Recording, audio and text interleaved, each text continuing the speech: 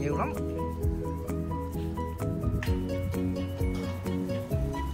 Đây kìa đây kìa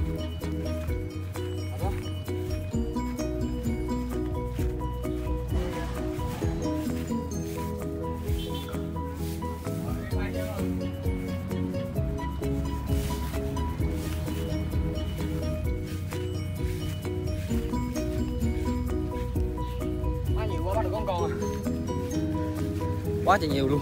Chút xíu nữa mình sẽ làm món ờ, cào cào nướng nha các bạn. Má này về nhà chiên ăn cũng ngon lắm. Hóa xe của mình chứ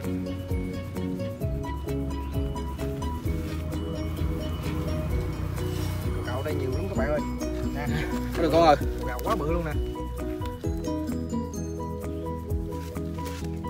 Ở đây cào cào nhiều lắm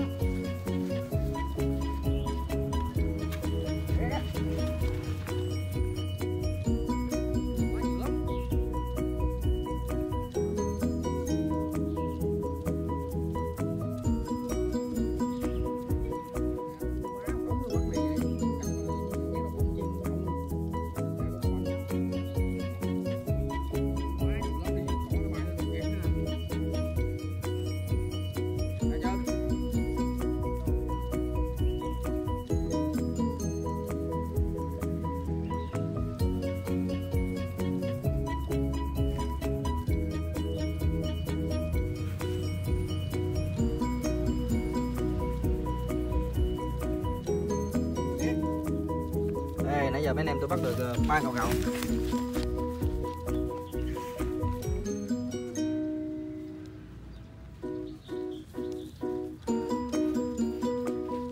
con đi đâu quay cận cận cận cảnh cào ơi cào bự rồi không đâu.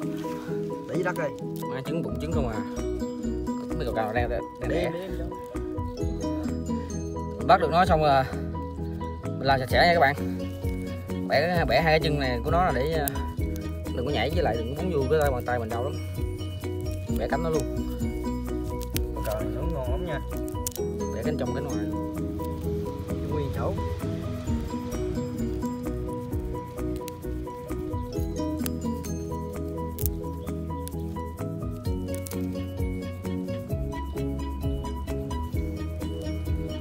mẹ để dọ luôn